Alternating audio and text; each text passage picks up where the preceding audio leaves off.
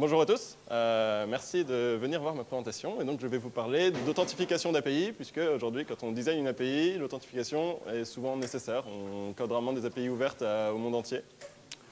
Euh, et donc, euh, je vais, je, vais, vous parler de différentes méthodes aujourd'hui, qui sont des méthodes classiques et utilisées partout pour implémenter de l'authentification dans vos API. Euh, pour commencer, euh, qui suis-je? Donc, euh, Je m'appelle Léo Unbekant, je viens de Strasbourg, j'ai cofondé une boîte qui s'appelle Scalingo. on fait de l'hébergement, on est une plateforme d'hébergement et d'automatisation. Le, but, c'est que vous avez votre code, vous nous l'envoyez, et deux minutes plus tard, vous avez une application en production avec un cluster de base de données potentiellement prête à fonctionner et qui vous n'avez plus besoin de gérer de serveur. Notre but, c'est de vous faire oublier la gestion de serveur.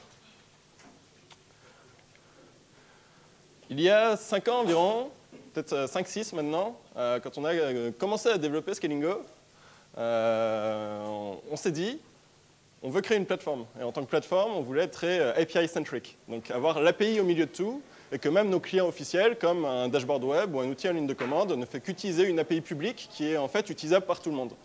Et cette API est documentée et bah, effectivement utilisable par n'importe qui qui veut créer des outils pour utiliser la plateforme. Euh, à cette époque-là, on s'est dit, on voulait aller vite, c'était les, débuts, les débuts d'une boîte, on voulait avancer quand même. Euh, et, donc on a implémenté un système d'authentification basé sur un token unique par utilisateur. Donc l'utilisateur allait sur son dashboard, il se connectait, il allait dans son profil, il pouvait récupérer un token. Euh, dans la pratique, ça fonctionnait bien, mais ça a quand même pas mal de limites. C'est-à-dire vous avez un token unique, ça veut dire que pour se connecter au dashboard, c'était ce token-là qui était utilisé. Pour utiliser l'outil en ligne de commande, c'était ce token-là qui était utilisé. Euh, si vous intégriez notre, solution avec votre CI, euh, c'était ce token-là qui était utilisé. Et si à un moment il était révoqué ou si vous le renouvelez, euh, bah, automatiquement, vous, étiez déconnecté de partout. Et donc, il fallait reconfigurer le CI, reconfigurer l'outil en ligne de commande, se reconnecter sur le dashboard, et donc c'était très laborieux. Dans la pratique, ça a bien fonctionné pendant trois ans et euh, ça, restait euh, correctement sécurisé. Pas pratique, mais correctement sécurisé. Et donc, à partir de là, il y a maintenant un peu plus d'un an, on s'est reposé la question, OK, maintenant, on est devenu plus grand, on a pas mal de clients, il faut qu'on ait quelque chose de mieux à proposer à nos utilisateurs et à nos clients. Donc, à partir de là, il y avait différentes contraintes. Une des contraintes, c'est qu'on a différents types de services, et euh, ces services pas forcément ne sont pas forcément au même endroit et on ne veut pas que les, utilisateurs aient à se connecter à chacun de ces services indépendamment. On veut que l'utilisateur se connecte une fois à un endroit et qu'après, avec son authentification, il puisse autant utiliser, par exemple, notre service de streaming de log en temps réel ou bien l'API de management de, de, ces applications sur la plateforme. Donc ça, c'était une première contrainte, une authentification euh, de services multiples. Un autre point, c'est qu'on est une plateforme d'hébergement, et comme beaucoup de plateformes d'hébergement, on a une volonté d'être multi-zone, donc d'avoir un data center en Europe, un data center aux États-Unis par exemple, un data center en Asie. Et donc, encore une fois, on n'avait pas envie que les utilisateurs aient besoin de se connecter différemment à chacun de, ces data centers. On se connecte une fois et après, on peut utiliser les services dans la zone qu'on a choisie. Euh, Évidemment, on ne comptait pas faire quelque chose qui va nous créer de la dette technique, etc. On voulait quelque chose qui soit capable de grandir avec le temps, de, scaler horizontalement. Donc, euh, si à un moment on a trop de requêtes, on rajoute des serveurs et ça continue de fonctionner correctement. Comme je l'ai dit avant, on a pour but d'être une plateforme. Donc, une plateforme, on veut que les gens s'interconnectent, on veut que les gens créent des applications pour automatiser des choses euh, sur la plateforme. Et donc, on a besoin que des applications tiers puissent utiliser l'API qu'on propose. Et évidemment, on s'adresse à des développeurs, donc il faut que ce soit le plus facilement utilisable pour les développeurs, euh, limiter les, frictions. Et évidemment, on parle d'authentification, donc il euh, faut que ce soit un minimum sécurisé, même beaucoup sécurisé dans la pratique. Ok, on va commencer par la première méthode, qui est la méthode la plus classiquement implémentée, que vous avez certainement eu. Si vous avez un jour utilisé des API, tiers, vous avez certainement utilisé euh, des tokens d'API. Donc, euh, je vais commencer par, cette méthode-là. Euh, en premier exemple, je vais prendre l'exemple d'Algolia. Je ne sais pas euh, qui connaît Algolia? Ok, on va dire 50%. Donc Algolia, c'est un service SaaS de, moteur de recherche. Donc vous leur envoyez des documents, ils les indexent, après vous pouvez faire des recherches dedans, ils ont une API pour faire des recherches dans ces documents. J'ai pris cet exemple-là parce qu'il y a des choses que j'aime beaucoup dans ce qu'ils font au niveau de l'implémentation des tokens d'API et des choses que j'aime un petit peu moins, donc je vais pouvoir parler des deux. Euh, donc concrètement, vous voulez utiliser leur service, euh, vous faites un compte, vous allez sur le dashboard et euh, là on vous dit OK pour utiliser la, recherche, vous devez vous créer des credentials, donc un token d'API que vous allez ensuite donner à votre application qui va s'occuper de faire les recherches. Et donc, au moment où vous créez ce token, ce token d'API, on va vous demander OK, quelle permission vous donnez à ce token? Est-ce que vous lui donnez une durée de vie limitée ou pas? Est-ce que vous voulez limiter le nombre de requêtes utilisables par seconde et par IP, par exemple? Donc, il y a pas mal de critères pour configurer ces tokens.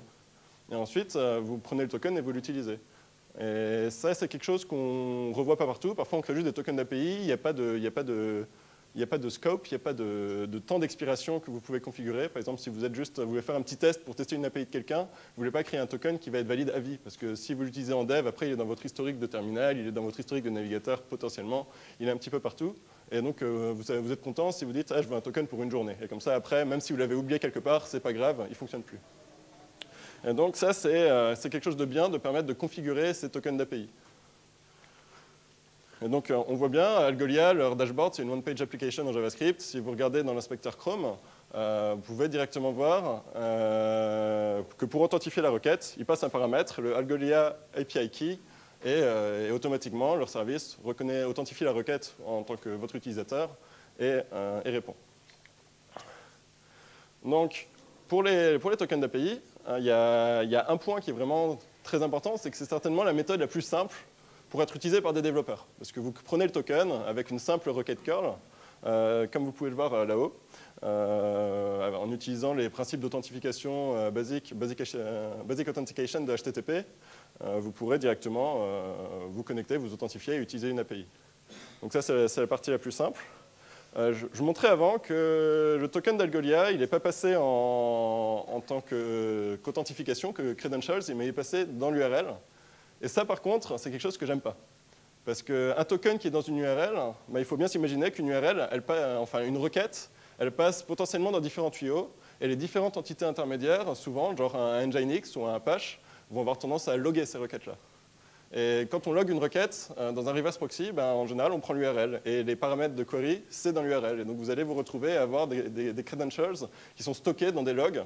Et ce n'est pas forcément euh, quelque chose que vous avez envie. Ça, augmente la surface d'attaque, euh, que quelqu'un s'approprie des credentials qui ne leur appartiennent pas. Et donc, ça, c'est quelque chose que je n'aime pas. je pense notamment, si vous avez une infrastructure chez Amazon, vous avez un ELB, Elastic Load Balancer, pour faire le load balancing chez vous. Vous n'avez pas spécialement envie que Amazon ait dans ses logs des credentials pour taper dans votre application. Donc, euh, à mon goût, c'est quelque chose qui est évité. Mais en dehors de ça, donc les, tokens d'API, souvent, c'est très rapide à utiliser. Et un autre avantage, c'est que c'est très facile de créer des, clients dans différents langages de programmation. Parce que tous les langages ont en général une lib HTTP qui fonctionne. Euh, et dans cette lib HTTP, on peut très facilement soit ajouter un user, un password, ou ajouter un header particulier pour s'occuper de l'authentification donc à partir de là, c'est vraiment quelque chose de rapide et d'efficace que de euh, créer un client. Il n'y a pas besoin de euh, respecter des protocoles très compliqués qui demanderaient euh, des, centaines de lignes de code. Là, en général, en une ligne de code, vous pouvez authentifier une requête HTTP. Ensuite, il y a un petit problème avec les tokens d'API, c'est qu'au final, il n'y a pas de... Y a pas de non, c'est pas qu'il n'y a pas de standard, c'est qu'il y a plein de standards de comment les envoyer à un serveur.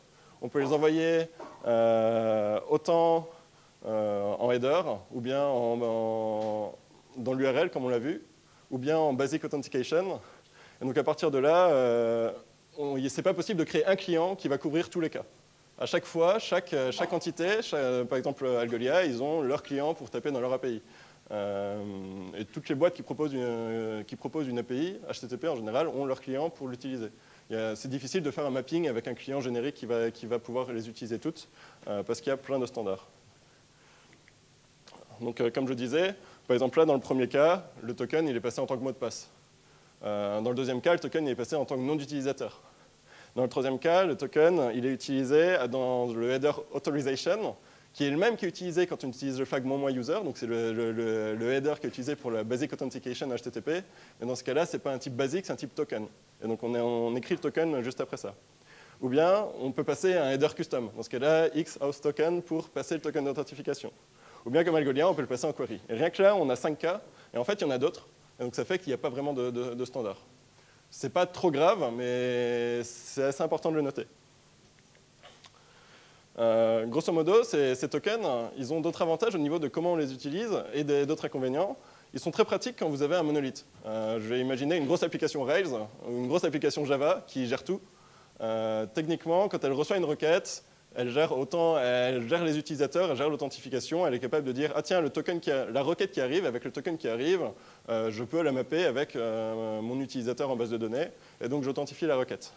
Donc quand vous avez une application qui s'occupe de tout, donc on va dire un monolithe, c'est assez efficace et rapide de gérer, de gérer ces requêtes là.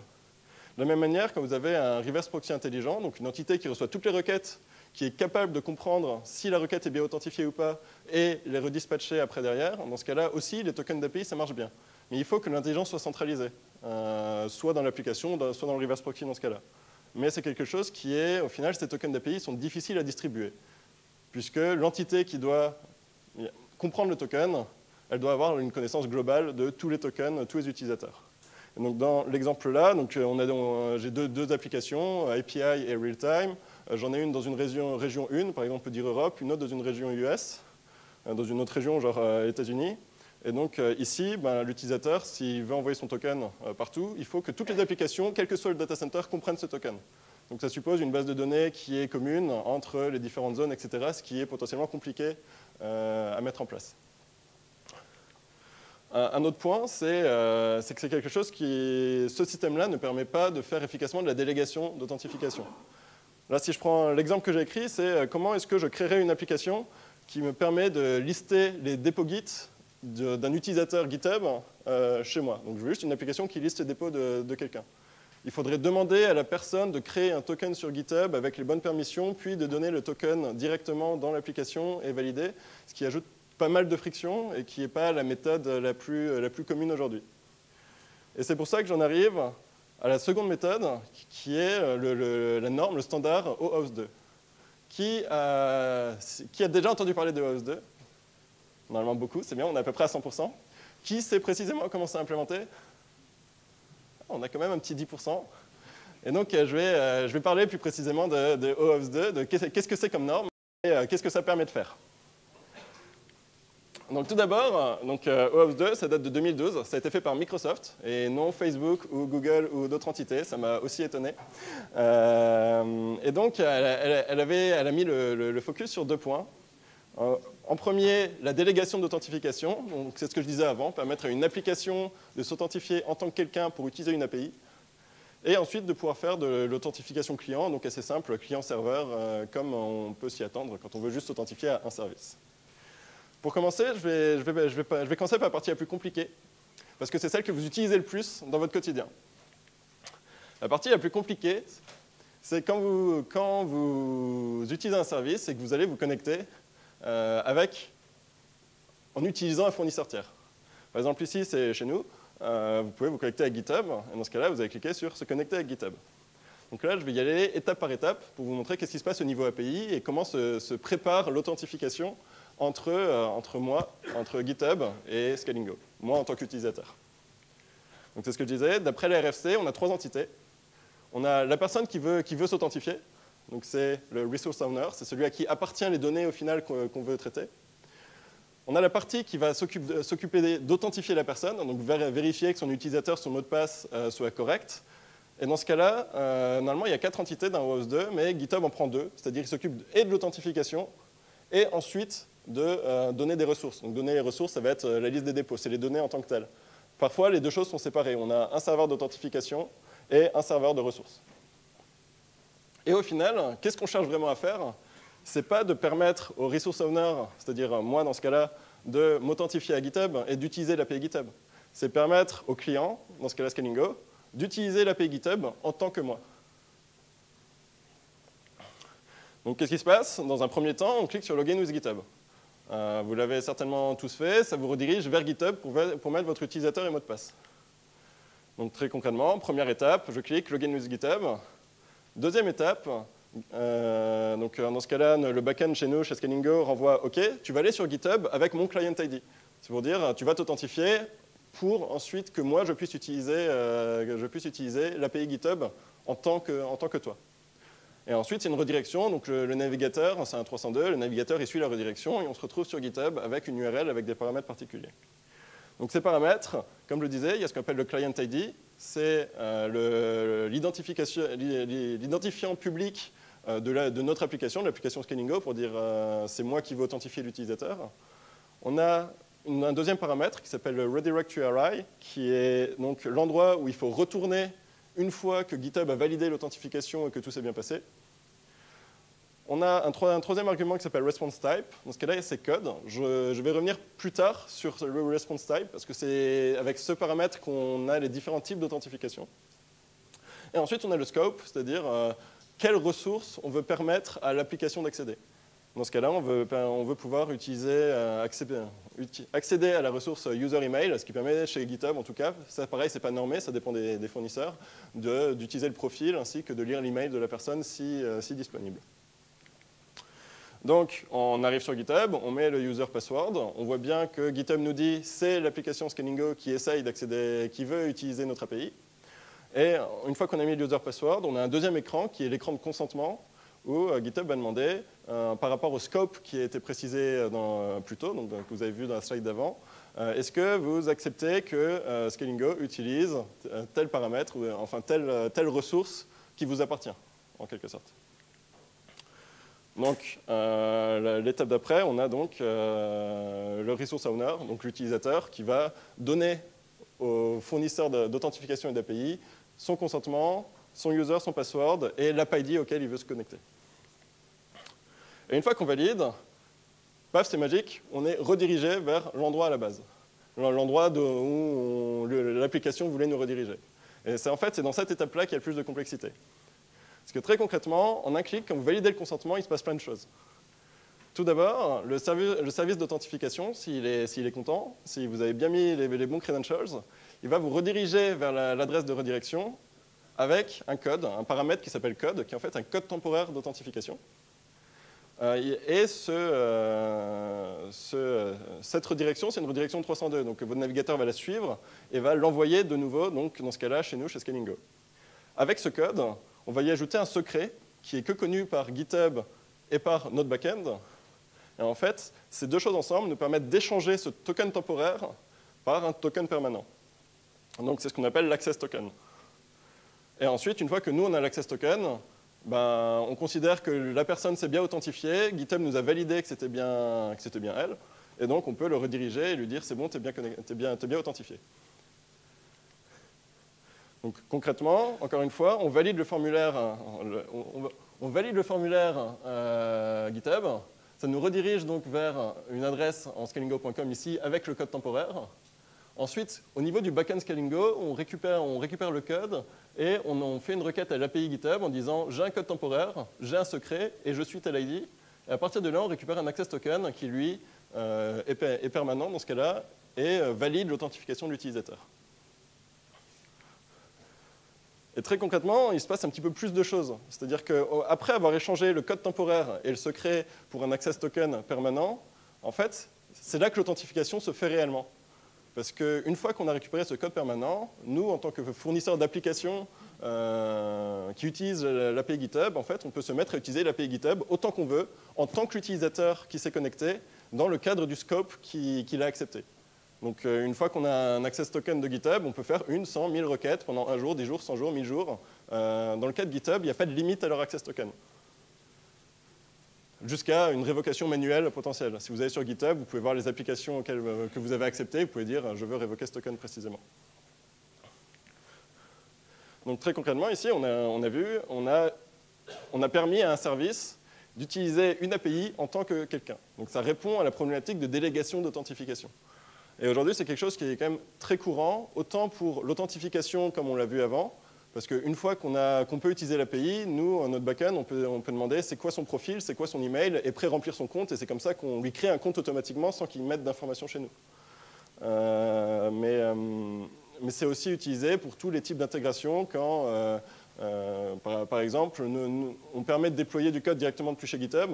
dans ce cas-là, on a utilisé cet access token qui est arrivé pour demander à GitHub, donne-nous le code de leur application, et comme ça, nous, on l'utilise. Mais là, on a vu un problème, qui est le problème qui est en fait utilisé, c'est une fonctionnalité qui est utilisée le plus, mais ce n'est pas forcément celle que vous, en tant que développeur, vous voulez forcément utiliser pour juste authentifier votre backend. Parce que là, euh, pour utiliser simplement un utilisateur, c'est un utilisateur, il est sur votre dashboard, en Angular, en, React, en ce que vous voulez, et vous voulez juste qu'il utilise votre API. On va prendre un cas plus simple maintenant.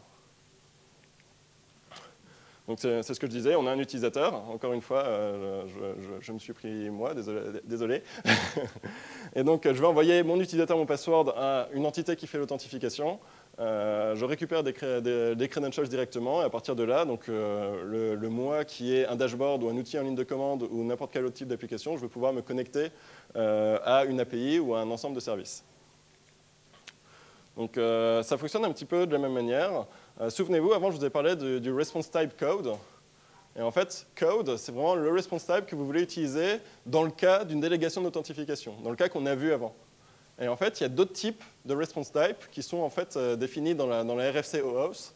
Euh, et celui qui vous intéresse ici, c'est le response type qui s'appelle token. Et en fait, si vous précisez le response type token, ce qui va se passer, c'est qu'à la fin de l'authentification sur le service d'authentification, vous n'allez pas recevoir un token temporaire, mais directement un token euh, utilisable pour euh, vous authentifier euh, auprès du fournisseur de ressources. Donc ça fonctionne globalement de la même manière. la personne va, sur notre dashboard, par exemple. Si l'application JavaScript, si JavaScript voit que la personne n'est pas authentifiée parce qu'elle n'a pas de connaissance de credentials de son côté, elle va la rediriger vers le service d'authentification avec les paramètres les mêmes qu'on a vu avant, donc l'ID de l'application, une adresse de retour, et dans ce cas-là, le response type qui est à token. Et une fois que la personne a validé euh, le user password, euh, on retourne directement sur le dashboard et on peut voir sur la dernière ligne que le token est donné en paramètre de query sur l'adresse de retour, ce qui permet en fait à l'application JavaScript ou n'importe quel autre type d'application de directement parser, parser l'URL et récupérer le token et l'utiliser pour faire des requêtes. Donc ici, on arrive dans cette situation-là. En premier, l'utilisateur envoie son, username, son password, il récupère des credentials. Ensuite, avec ces credentials, il peut commencer à, euh, utiliser des services de manière authentifiée.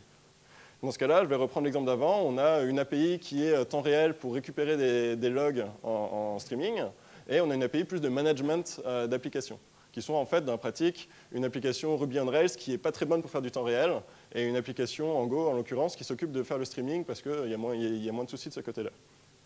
Et donc, le problème, c'est que ces services, euh, comment est-ce qu'elles valident que le token est valide, en fait? Et donc là, une des solutions, c'est de dire, ah, bah, OK, bah, ces services-là, ils peuvent redemander en interne au service qui a géré l'authentification, est-ce que le token est valide? Mais dans la pratique, c'est une mauvaise idée.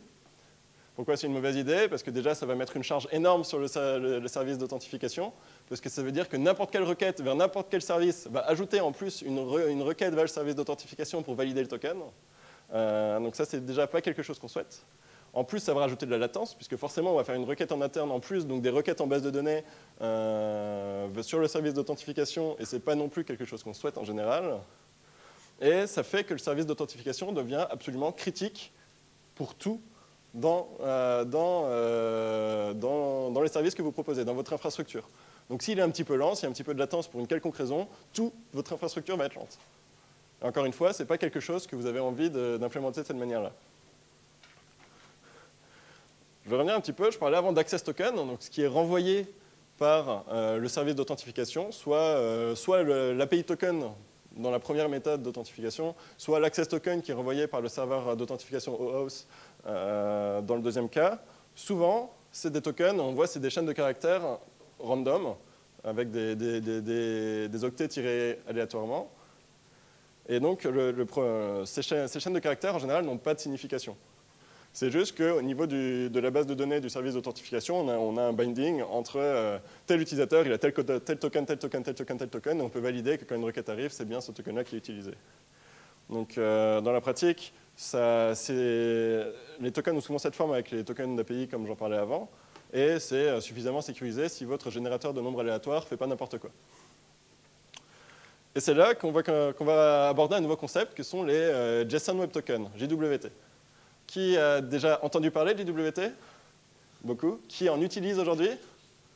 En production? C'est pas mal. Donc, euh, l'intérêt d'un JWT, c'est d'avoir un token qui n'est pas directement bindé à un utilisateur, mais un token qui est cryptographiquement signé. Donc le fait qu'il soit cryptographiquement signé, ça fait que pour pouvoir le valider, il n'y a pas besoin de savoir à quel utilisateur correspond cette chaîne de caractères aléatoires. mais plutôt est-ce que le token est correctement signé d'un point de vue cryptographique, simplement. Donc à quoi ressemble un JSON Web Token? Le JSON Web Token a trois parties. On a une première partie qui s'appelle le JAWS Header, donc JAWS qui signifie JSON Object Signature and Encryption. Et donc c'est dans cette partie-là, dans le header, que va être défini l'algorithme cryptographique qui va être utilisé pour signer le token. Et il y a également un type qui dans ce cas-là est JWT. La deuxième partie, c'est le payload, donc c'est concrètement qu'est-ce qui va être inclus dans le token. Euh, c'est le, contenu utile. Euh, dans ce payload, d'après la RFC qui définit JWT, on a donc des attributs euh, et des valeurs, des clés et des valeurs. Les clés ont comme nom des claims. Si vous cherchez JWT claims, ça va être le, titre officiel pour définir le, nom des clés qui sont à l'intérieur. Et certaines de ces claims sont fortement conseillées, voire obligatoires. Notamment la, la, première que vous pouvez voir là, qui est exp pour expiration, qui correspond en fait à un timestamp après lequel le token ne sera plus valide. Le deuxième champ, qui est sub, qui signifie subject, c'est en fait pour qui euh, pour qui adresser ce token, grosso modo. Et en général, ça peut être, vous pouvez écrire ici le user ID. Comme ça, quand la personne s'authentifie, vous renvoyez un JSON Web Token qui est pour ce user ID. Et ensuite, c'est un objet JSON. Vous pouvez mettre n'importe quoi dedans c'est souvent utilisé pour faire passer des permissions, pour dire tel token, il permet de faire ça, ça, ça, ça dans mon infrastructure en tant que telle personne. Et vous pouvez voir les chaînes de caractères euh, qui commencent par EY, vous avez l'impression que c'est peut-être chiffré ou je ne sais pas, je sais pas quoi, mais absolument pas, c'est juste du bas 64. C'est juste encodé en bas 64. Si vous décodez euh, ces chaînes de caractères, vous avez directement le JSON. Et donc on en arrive à la troisième partie, qui est la partie signature, qui en fait la signature en utilisant l'algorithme présent dans le header, du header, plus du payload, en utilisant un secret. Et du coup, tout est dans ce secret qui va être euh, présent sur la machine qui génère les tokens, qui, à partir du user password, par exemple, va être capable de générer des credentials, donc qui va générer le token, et sur les machines ensuite qui vont devoir valider le token. Euh, si, on reprend l'exemple de, de, de OAuth avant, ben, en fait, à la place de, renvoyer juste un token aléatoire comme de chaîne aléatoire, ben, l'access token, très précisément, ça va être un JSON Web Token. Et donc ici, on arrive dans cette situation-là. On s'authentifie auprès d'un service d'authentification, et après, on a un token qu'on va pouvoir envoyer aux différentes API qu'on veut utiliser, et ces API-là, parce qu'elles ont également la clé, vont pouvoir valider que le token a été correctement signé. Ici, on a l'impression, avec ces trois petites clés jaunes, que les secrets, les clés qui permettent de valider et d'écrire la signature sont identiques. Et en fait, c'est vrai, mais que dans un, certain cas. Parce que dans les algorithmes que vous pouvez utiliser pour signer des tokens, on a des algorithmes de, chiffrement symétrique. Et dans ce cas-là, euh, une entité qui a le secret peut autant signer un token que valider que le token a correctement été signé. Ou bien il y a des algorithmes donc avec un système de clé privée et clé publique. Dans ce cas-là, l'entité qui crée les tokens est la seule à avoir la clé privée pour les signer. Et les autres entités qui ont la clé publique peuvent juste valider que le token a bien été signé, mais, euh, ne peuvent pas euh, créer de token de, JWT eux-mêmes. Euh, c'est là que je vais vous parler un petit peu plus de quelques considérations on va dire, de sécurité quand vous implémentez ce genre de système. On va commencer avec OAuth 2. Donc, tout d'abord, vous avez vu à plusieurs reprises qu'on utilise un paramètre qui s'appelle redirect URI, qui correspond à, l'endroit où le serveur d'authentification va vous rediriger après une authentification réussie. Et donc, en fait, ce, paramètre-là, il faut bien le valider. C'est-à-dire qu'en général, quand l'utilisateur crée une application sur, sur un service, il va dire « je m'attends à ce que les utilisateurs soient redirigés à tel endroit ». Et ensuite, il faut bien comparer que ce à quoi on s'attend, c'est bien ce qui est arrivé dans l'URL du client parce que sinon, des, entités pourraient créer euh, un site qui va vous authentifier autant qu'un utilisateur, mais vous rediriger ailleurs, sur un site de phishing par exemple, et vous ne vous rendrez pas compte. Alors que si vous validez bien le redirect URI, euh, on est sûr que l'utilisateur va retourner au bon endroit, un endroit qui vous appartient de préférence. Il y a un paramètre dont je n'ai pas parlé qui s'appelle le state. Ça aurait ajouté beaucoup de complexité dans, la danse qu'on a vue précédemment.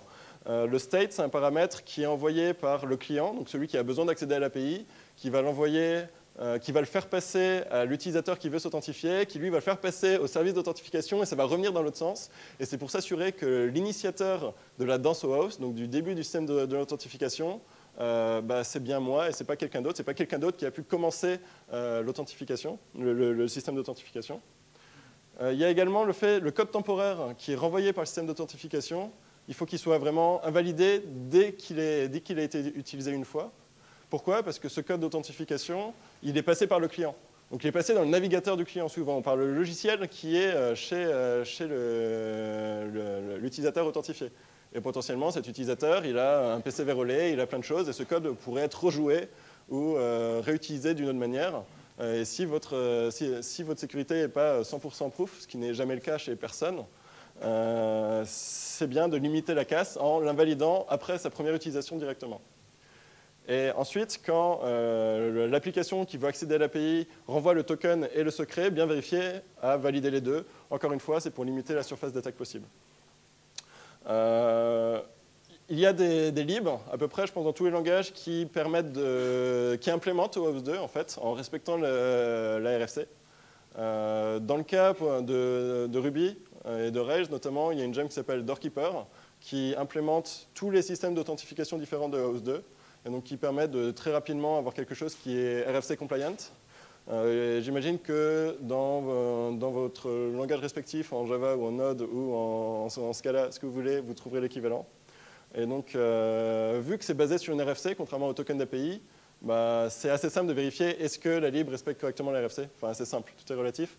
Mais en tout cas, il y a des... il n'y a pas 50 manières de l'implémenter en général. Et donc, par rapport au JWT, par rapport au token, la première recommandation que vous allez trouver partout, c'est que le token, il doit avoir une durée de vie courte. Dans ce cas-là, ce qu'on lit assez souvent sur euh, des, posts de blog ou sur des, euh, sur, euh, des threads un petit peu partout, c'est en général moins d'une heure. et encore une heure, personnellement, je considère ça beaucoup. le, second, le second point, enfin, non, je, vais, je vais remonter là-dessus. Pour, pourquoi, hein, très concrètement C'est parce qu'une fois qu'un token a été généré, il est en soi-même, il s'autosuffit parce qu'il est correctement signé. Et si le temps d'expiration n'est pas échu, ben, il est valide. Il n'y a pas une entité tiers qui va le valider. On va juste vérifier la, partie cryptographique. Donc c'est pour ça qu'on euh, considère qu'il ne faut pas des tokens qui soient valides longtemps, parce que si à un moment euh, il y a un souci, il faut qu'ils ne soient euh, pas utilisables pendant trop longtemps. On va parler de révocation un petit peu plus tard. Un autre point, c'est vérifier les algorithmes que les libres que vous utilisez acceptent. Parce qu'il y a pas mal de libres qui sont assez bêtes et qui, quand elles reçoivent un token JWT, elles vont lire le header, elles vont voir « Ah, c'est cet algorithme qu'il faut utiliser ». Et dans ce cas-là, elles vont valider le token avec cet algorithme-là précisément. Et dans la RFC, il y a un super algorithme qui existe qui s'appelle Known, euh, qui veut dire qu'il n'y a pas d'algorithme de, signature, enfin, il n'y a pas de signature. Et donc, euh, il, y a il, y a eu des, vous pouvez trouver des, des blog posts de personnes qui se sont dit « Ah, j'avais implémenté ça avec tel lib ». Et en fait, n'importe qui pouvait forger des tokens et il n'y avait aucune sécurité. Et ce n'est pas quelque chose que vous souhaitez. Et donc la bonne pratique, à mon goût, c'est dans la lib qui réceptionne les JWT, vous devez la configurer pour accepter qu'un seul algorithme, qui est celui que vous utilisez au moment que vous créez, les JWT. Euh, et de préférence, un algorithme robuste. Et un troisième point, qui est le secret, qui permet de signer ou de valider les tokens. Euh, ce secret, il est conseillé de le changer régulièrement. Euh, c'est conseillé si vous voulez, euh, si vous regardez toutes les recommandations, euh, soit des agences de, sécurité de différents pays, mais aussi si vous voulez être PCI DSS ou ISO quelque chose, ça fait partie des bonnes pratiques que de faire tourner les secrets cryptographiques, parce que des fois qu'ils soient partis dans la nature à un moment ou à un autre, ça permet de s'assurer qu'il y en a un nouveau qui est juste à un seul endroit à un moment donné. souvent la recommandation, genre pour PCI DSS, c'est tous les ans.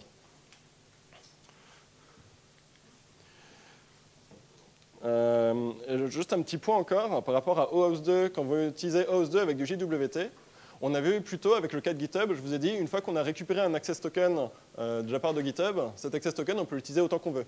Une fois, 100 fois, 1000 fois, euh, sur une durée indéterminée. par leur nature, ce n'est pas le cas avec les JWT. Le, JWT, une fois qu'il sera plus valide, ben, il sera plus accepté par aucun service. Et donc c'est ici que dans la norme OAuth 2, on a un attribut qui s'ajoute qui s'appelle le, refresh token, qui permet en fait au client de demander d'autres JWT quand il en a besoin. L'exemple, ça peut être une application qui, va, qui se connecte sur l'API Facebook en tant que quelqu'un d'autre et qui veut garder une liste des amis Facebook à jour quotidiennement.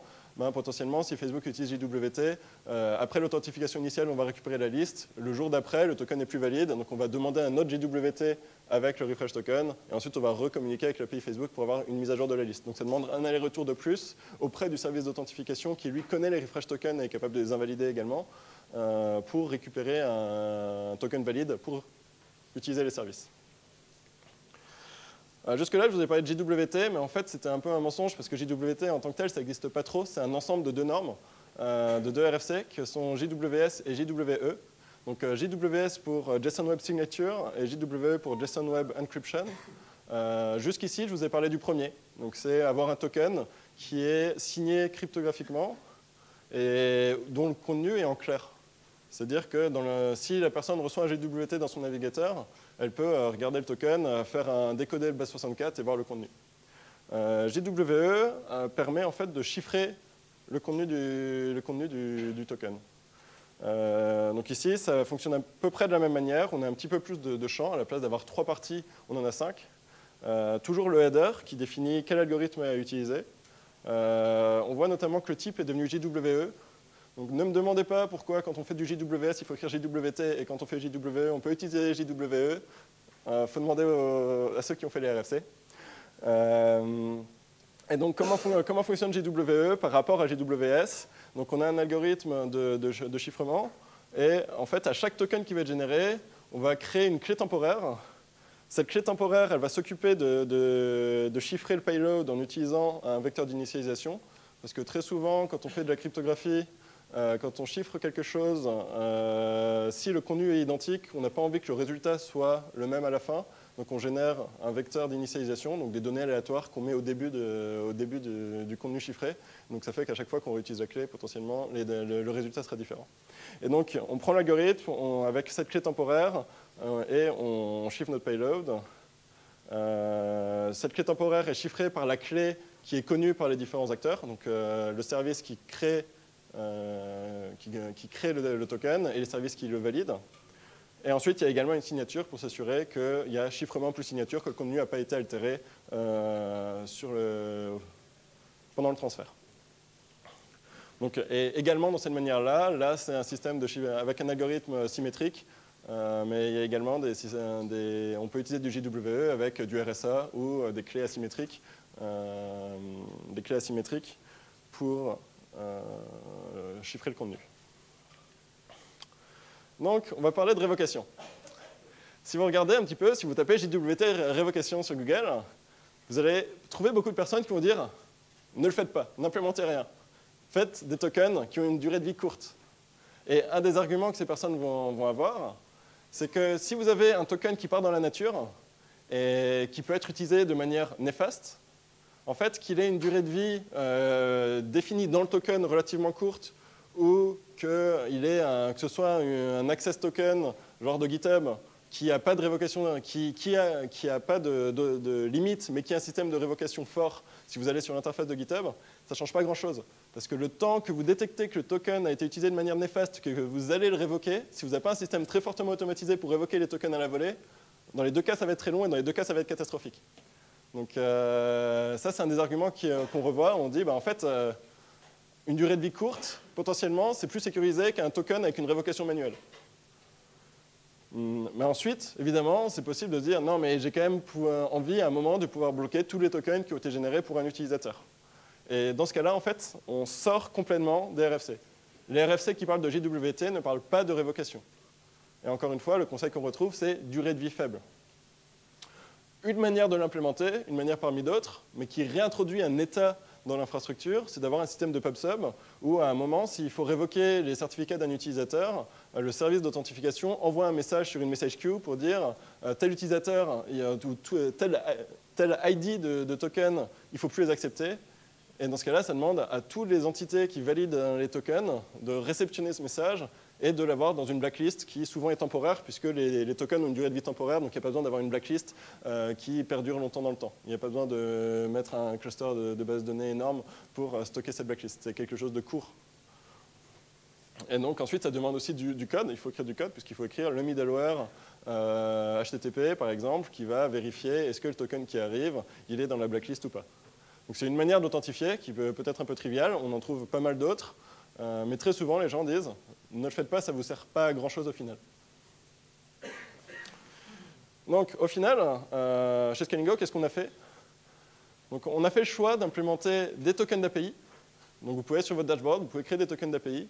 Et en fait, ces tokens d'API, ils sont échangeables quand vous en avez besoin pour récupérer un JWT qui ensuite est utilisable partout dans l'infrastructure sur tous les différents services. Le token d'API en tant que tel ne va pas pouvoir vous, permettre de vous authentifier au service de log, par exemple. Par contre, vous pouvez l'échanger pour un JWT qui, lui, sera valide pendant une heure pour euh, utiliser, euh, euh, l'ensemble des services de, la plateforme. On a également implémenté de l'OAuth 2 pour que les gens puissent créer des applications qui utilisent notre API en tant qu'autre personne. Ça, c'est vraiment le standard qu'on retrouve, partout. Et, donc, dans ce, dans ce OAuth 2, effectivement, on renvoie des, euh, JWT en access token avec un refresh token pour, euh, pour, pour, que les applications tiers puissent renouveler leur token. Euh, si en sortant d'ici, vous devez retenir trois choses, c'est que clairement, les clés d'API, c'est ce qui est le plus rapide et le plus efficace. Et si vous n'avez pas de problématique de distribution, de distribution géographique ou de distribution au niveau des services que vous proposez, euh, c'est clairement l'outil qui permettra d'avoir la meilleure expérience utilisateur, si vous vous adressez à des développeurs notamment. En général, si vous avez une API, c'est qu'à un moment, vous vous, adressez un petit peu à des développers. Euh, OAuth 2, c'est vraiment la norme aujourd'hui, le standard qui est implémenté globalement partout pour faire de la délégation d'authentification, euh, pour permettre à des applications d'utiliser une API en tant que quelqu'un. Euh, donc ça a l'avantage d'être standard, il y a des RFC, il y a des libs, on ne part pas dans tous les sens et ça marche globalement bien. Et ensuite, donc, euh, les, tokens, sur la nature des tokens, utiliser des tokens de type JWT. Donc ça permet de distribuer la validation et d'avoir des choses qui sont stateless. Il suffit d'avoir un secret ou une clé, cryptographique qui permet de valider qu'ils ont bien été générés par nous et pas par quelqu'un d'autre. Et donc comme j'ai montré, ces méthodes ne sont pas exclusives. Vous pouvez utiliser euh, l'un et l'autre parce que ça répond à différents besoins. Donc ça dépend vraiment de ce que, votre API, doit pouvoir faire et ce que vous voulez que les utilisateurs de votre API fassent. Donc, euh, vous trouverez ici euh, les RFC et les crédits des icônes et autres images que j'ai utilisées. Et merci beaucoup. Et si vous avez des questions, je les prends avec plaisir. merci.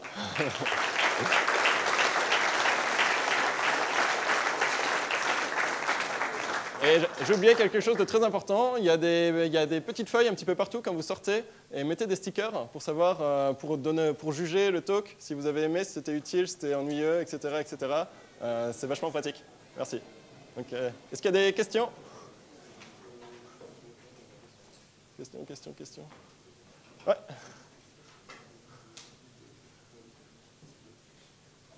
C'est une question? Oui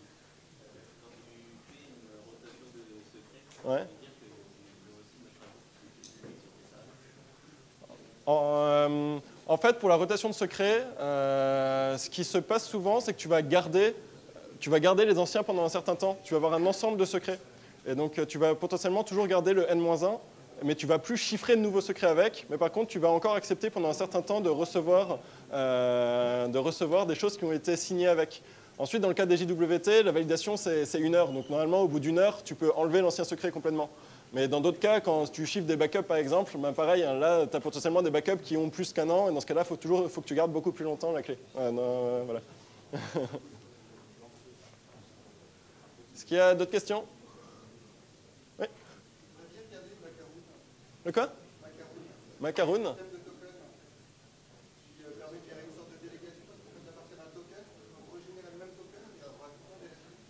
D'accord. Donc il y a un système de hiérarchie de tokens euh, qui est ajouté. Et c'est une lib C'est euh, un standard C'est le 16e ou le 17 Ok, merci. Ben, d'autres questions? Ben, Merci beaucoup. Euh, et euh, n'hésitez pas à essayer Scalingo, vous avez un petit de là si vous avez envie. Merci.